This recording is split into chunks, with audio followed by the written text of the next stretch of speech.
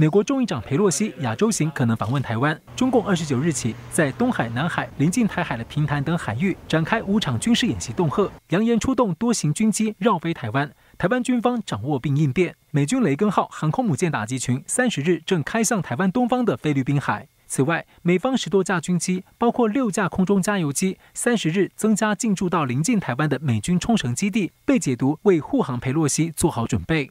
这这五个军演现在看起来，第一个对台湾不会造成实质上的威胁。那第二，对 Pelosi 的这个专机飞行路线来看，那更不会造成这个威胁了。其实我是觉得说，中国只是在故作姿态，因为对习近平来讲，北戴河跟年底的二十大毕竟太重要哈，所以他必须要有一些反应。裴洛西二十九日出访前后，雷根号航母打击群发布在南海起降战斗机的照片，传出两艘共军舰艇紧跟雷根号，最近距离不到三十公里。中共党媒英文《环球时报》称，中共央视三十一号首度发布疑似东风十七极音速飞弹在公路的试射画面，号称航母杀手。东风十七目前只有对地攻击版本，对美国海军暂时构不成什么威胁。它的速度应该在五马赫左右，它的技术美国和俄罗斯也已经具备了。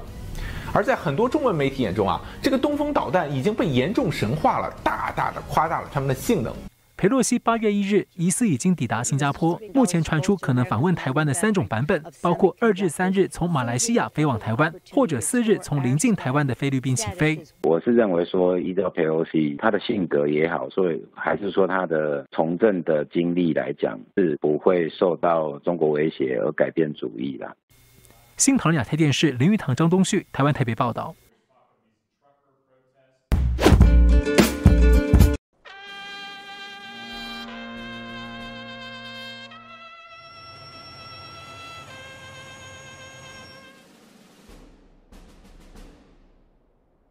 我命令全军指战员要坚决贯彻党中央和中央军委决策指示，发扬。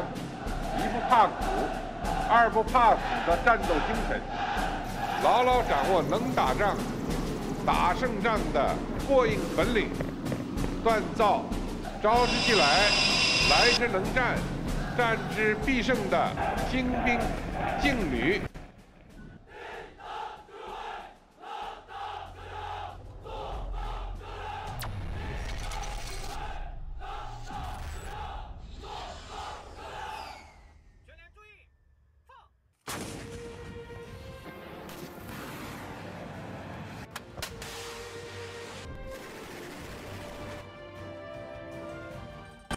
不可忘危，志不可忘乱。我们捍卫和平、维护安全、设置战争的手段多种多样，但军事手段始终是保底手段。人民军队永远是战斗队，人民军队的生命力在于战斗力，必须强化忧患意识，坚持底线思维。全部心思向打仗聚焦，各项工作向打仗用尽，确保在党和人民需要的时候拉得出、上得去、打得赢。要坚持仗怎么打，兵就怎么练。打仗需要什么，就苦练什么。什么问题突出，就解决什么问题。好了。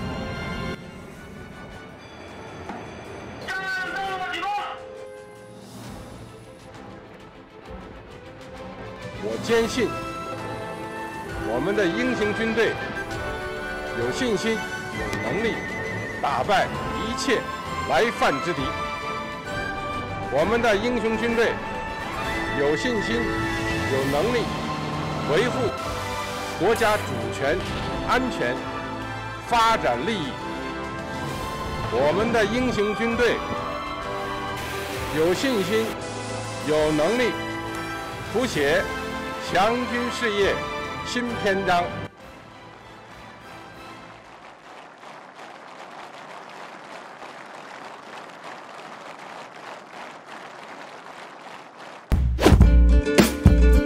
It is reported that some bank ATMs in Shanghai restricted deposit and withdrawal services.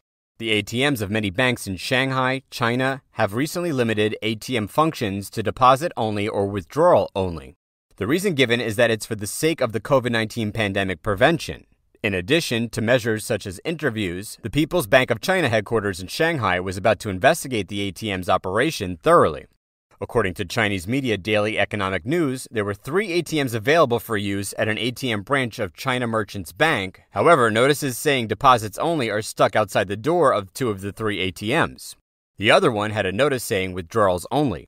In this regard, the bank also attached an explanation below these papers saying it was to implement the requirements for cash disinfection. The same situation is observed in some ATM branches of Shanghai Pudong Development Bank and Industrial Bank. Notices with the words deposits only or withdrawals only were also seen outside doors of these ATMs.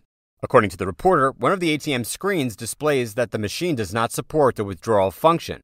If you need to withdraw money, please go to the other ATMs or the bank counter for processing. In response, the staff of the above mentioned bank explained that the cash needed to be disinfected during the epidemic. The bank staff said to the reporter that they entrust a third party firm to come twice a week to disinfect the deposited money and then return it back and put it in the ATM after disinfection. Additionally, the bank said the twice weekly cash disinfection schedule has little impact on citizens' everyday deposits and withdrawals. On July 17th, a citizen named Tian from Baoshan District told Media News QQ that she failed to withdraw money at an ATM of Agricultural Bank of China, Baoshan, Youpu. The paper outside the ATM read, Maintenance, please wait. Then she had to get a number and queue under the sun to enter the bank to withdraw cash.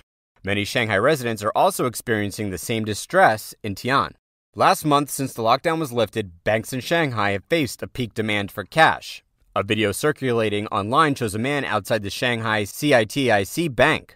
The video owner said that people couldn't use ATMs to deposit money because the bank stated the money was infected. He sighed and blamed the bank for such an issue. Failing to withdraw money at the ATM, they tried it another way go straight to the bank. However, some Shanghai netizens complain that it takes an hour to wait in a queue in front of the bank. In addition, a bank allows only six people to enter at a time.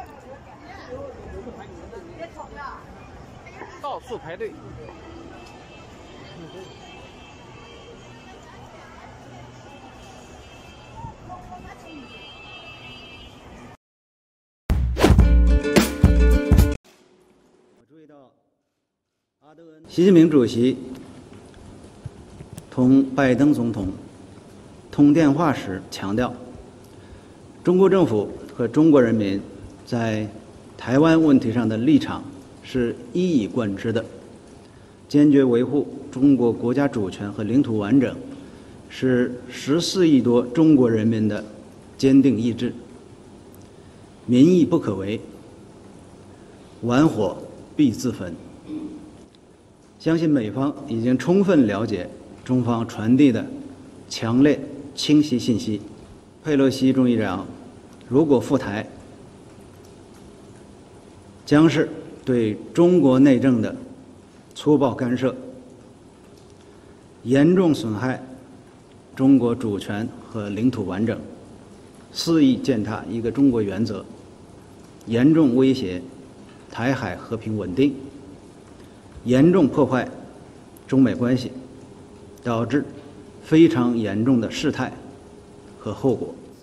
我们要再次正告美方，中方正严阵以待，中国人民解放军绝不会坐视不管，中方必将采取坚决应对和有力反制措施。捍卫自身主权和领土完整。美方应该做的是恪守一个中国原则和中美三个联合公报规定，兑现拜登总统不支持台独的承诺，不得安排佩洛西访台。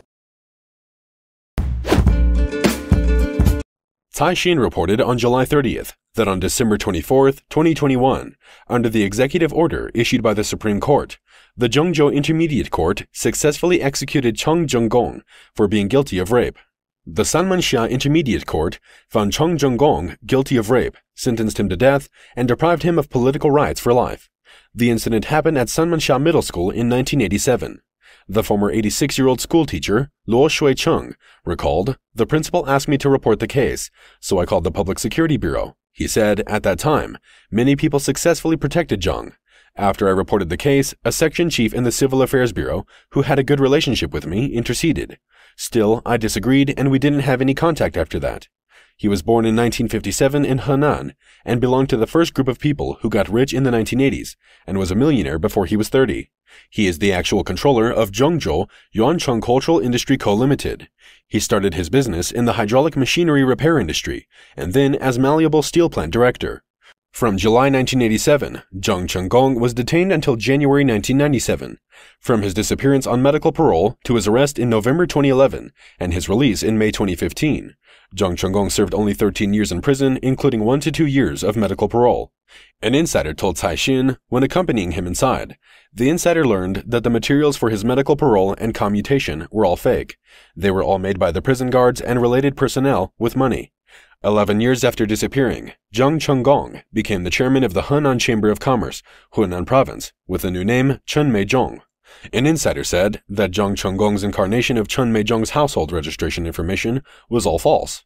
After he escaped on parole for medical treatment, he bribed the police in Yanling to create a new fake household registration information called Chen Meizhong and moved to Changsha. Especially the criminal ruling of releasing him on March 20th, 2015, wasn't released on the China Judgment Documents Network until August 9, 2021, after more than six years. From the first incident in 1987 to the execution in December 2021, Zhang Chenggong's bizarre 30 year journey back from the dead and back to justice has greater significance in uncovering a series of favoritism and corruption in the political and legal systems of public officials. The cover of the fraudulent power money deal, According to Caixin's investigation, some Hunan officials and the director of the Municipal Public Security Bureau, Li Junxin, are more or less related to Zhang Chenggong's case. Thank you.